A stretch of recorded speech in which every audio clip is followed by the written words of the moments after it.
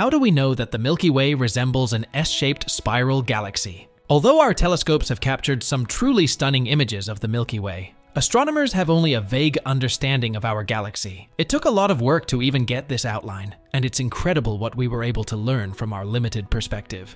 Here on Earth's surface, the Milky Way galaxy appears to the naked eye as a cloudy band in the sky, while astronomers and philosophers have debated the true nature and location of the Milky Way for centuries.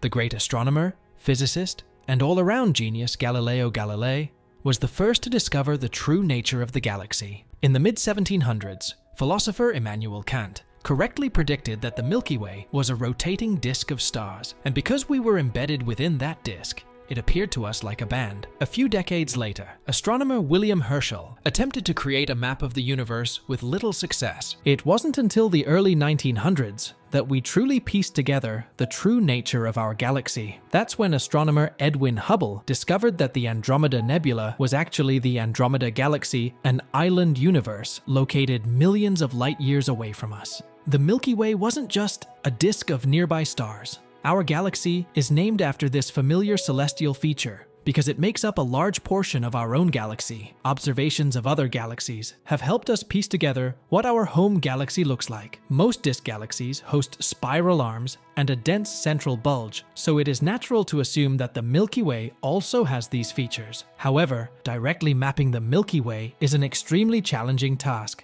First, it is big. It is roughly 100,000 light years across at its widest point, and there are many things in it. Between 100 billion and 400 billion stars, hundreds of thousands of star-forming regions, countless planets, black holes, neutron stars, and much more. Therefore, studying even small parts of the Milky Way requires a huge amount of resources. And then there is dust.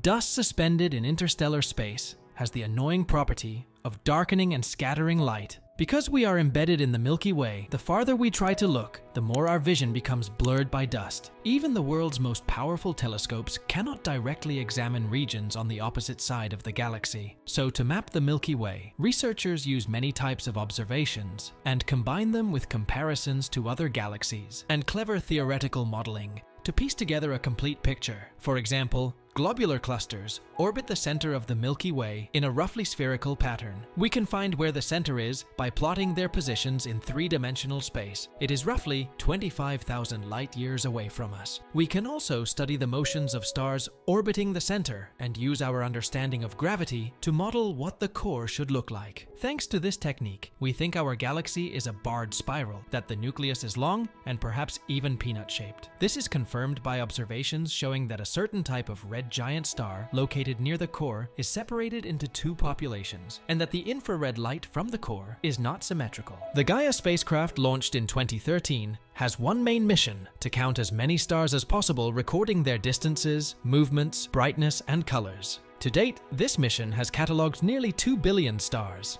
Although this is impressive, it still represents only 1% of all stars in the Milky Way.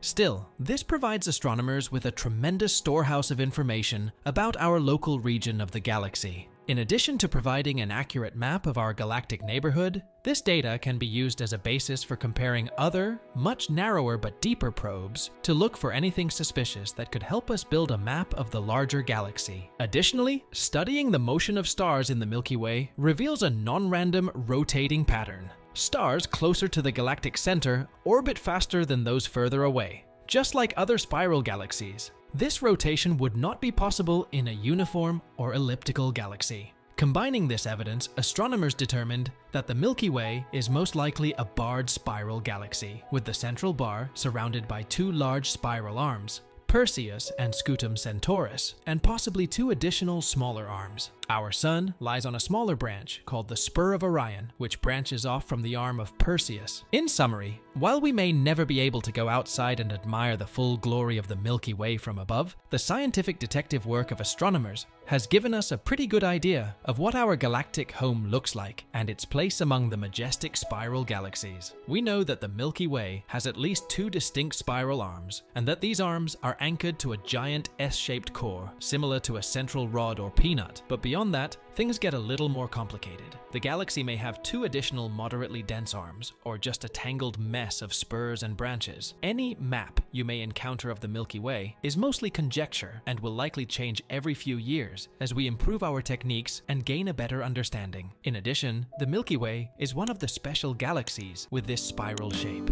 Yeah, how do we know what the Milky Way looks like? We have come to the end of the video. Don't forget to like the video and subscribe. Bye.